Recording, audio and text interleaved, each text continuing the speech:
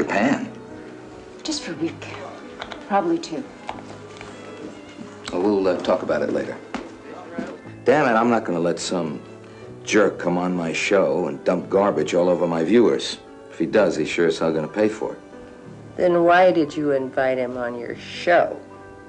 So that Howard can be righteously enraged. That's when he's at his best.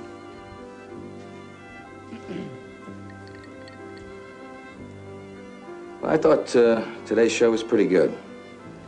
Did you see it? Annie? Annie, did you see the show today? Have I ever missed it?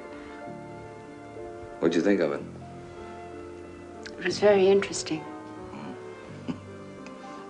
You didn't like it, or we should just say so. How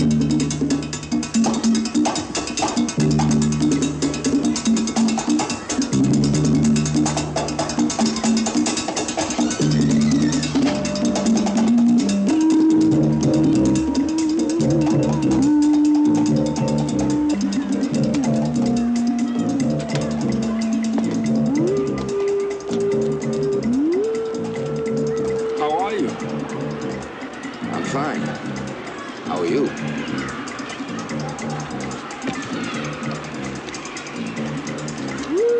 A poem for your car. Thank you.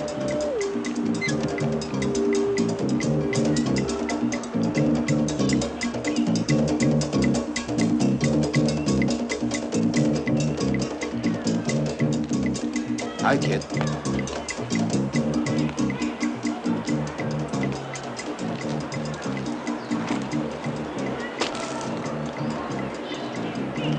You're looking good. So are you. I missed you, Annie. I knew where you were, but I was angry. So when are you coming home? I'm not sure I'm going back.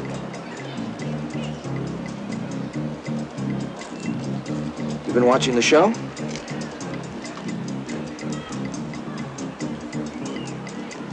You have enough money? Yes? What's with the books? Going back to school? I was thinking of doing some research on the effects of colonization.